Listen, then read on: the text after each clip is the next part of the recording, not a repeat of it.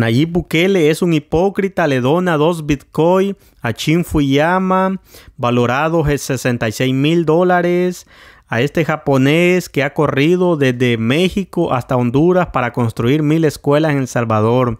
Mientras Bukele en El Salvador está destruyendo escuelas, le ha recortado 100 millones al Ministerio de Educación, está despidiendo a maestros, a la Universidad de Salvador no le ha pagado el presupuesto, le debe 50 millones, no ha construido ninguna universidad en El Salvador y hoy está donando dinero para que digan que él sí se preocupa por la educación, pero todo eso es mentira. Quiero ayudar a tu causa también. Obviamente mi responsabilidad principal son los salvadoreños y no puedo eh, agarrar dinero público y entregártelo, pero sí puedo de mi dinero personal. Así que estoy seguro que puedo ayudarte a, a, cumplir tu meta.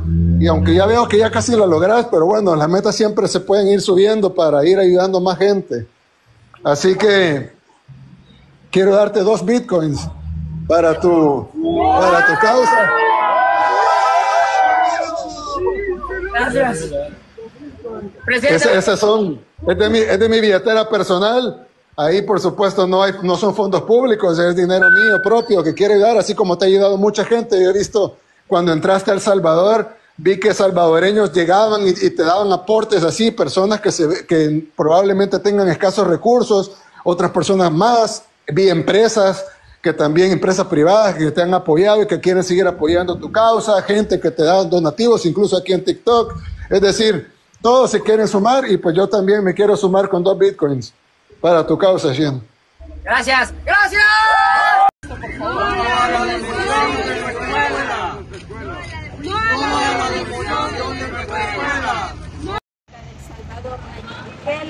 Cortés, estimado señor presidente, les saluda cordialmente la comunidad de padres y madres, junto a sus estudiantes y exalumnos del Centro Escolar República de Argentina con el código 11666, ubicada en octava Avenida Sur y Sexta Calle Oriente de San Salvador, nos dirigimos a usted para solicitarle la incorporación de nuestro centro escolar al proyecto que se está llevando a cabo actualmente en la cuadra del centro histórico entre la sexta calle Poniente y octava avenida Sur, contigua a la reconstrucción del ex cine Libertad, la cual, de no ser incorporada, será demolida y estará afectando a 150 familias y estudiantes ya que no se ha obtenido ninguna garantía por escrito de parte del Ministerio de Educación.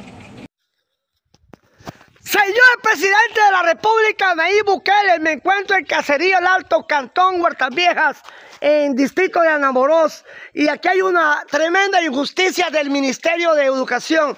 125 niños fueron privados de un techo de una escuela digna con el timo que les iban a hacer la escuelita.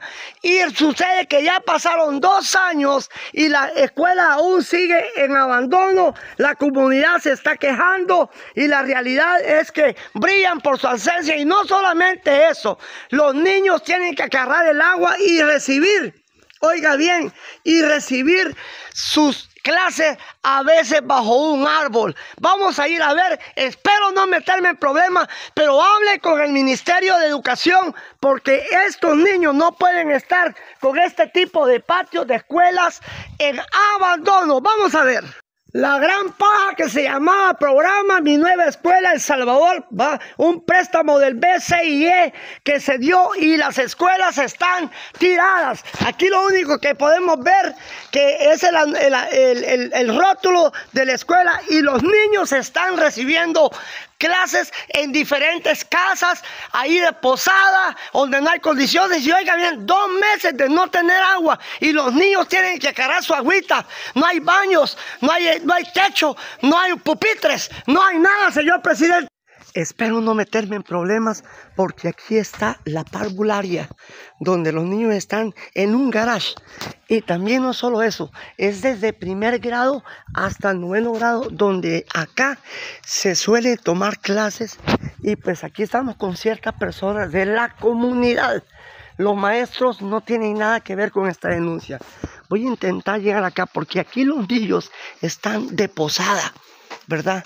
Y pues este es el, tema, cómo los niños están recibiendo sus clases Y es triste, pues, que hayan votado la escuela cuando estaba en buenas condiciones. Así que, señor presidente, ¿verdad? Le pedimos, señor presidente, que por favor los colabore en, en reconstruir la escuela. que hayamos venido acá como este estudiantes independientes porque la gente piensa de que el escalafón solo le afecta al área de los gremios educación y medicina, eh, de los de salud. Pero la verdad es que los estudiantes de la UES también estamos sufriendo bastantes precariedades en la universidad y para nosotros es bien importante que vengan y realmente alcen la voz por todas aquellas injusticias que estamos realizando. Entonces, más que todo, por eso hemos venido ahora, para que los estudiantes se den cuenta de que de verdad hay un bloque de que los identifica y de que puede representarlo. Y, ¿cómo se llama? A la misma vez venir a apoyar también al otro gremio que, del que se hace la marcha blanca.